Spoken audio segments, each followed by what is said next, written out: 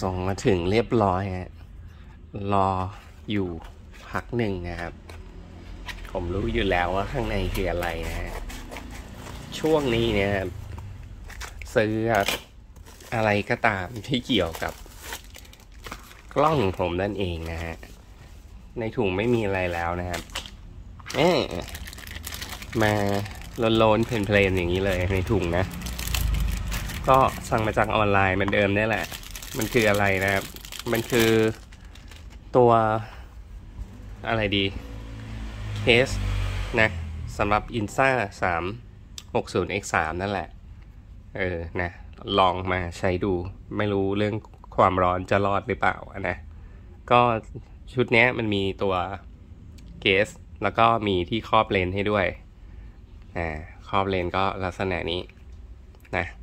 ของตรงปกอยู่ ผื่อใครไปลองนะ